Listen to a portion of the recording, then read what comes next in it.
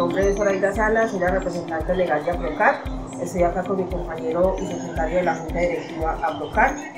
Eh, un total agradecimiento eh, a PNUD, Piso Startup y con Ciudadanía, pues eh, por esa dotación que hoy nos llega aquí a la Central de Beneficio de Café Cereza.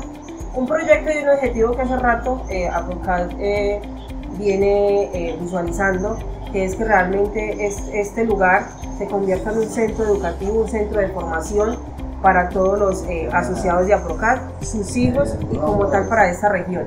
Entonces, eh, no, total agradecidos con todos ustedes. Realmente eh, esto es el inicio del objetivo que realmente queremos lograr.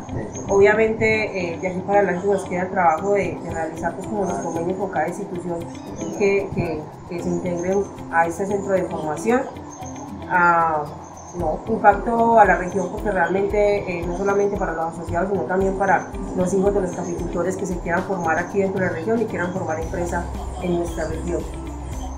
Agradecerles por tanta, por su ayuda, colaboración, eh, sé que es valioso el trabajo, actualmente que se está haciendo en esta asociación. Le damos las gracias eh, por su aporte y porque ahí están apoyando nuestro futuro y muchas gracias.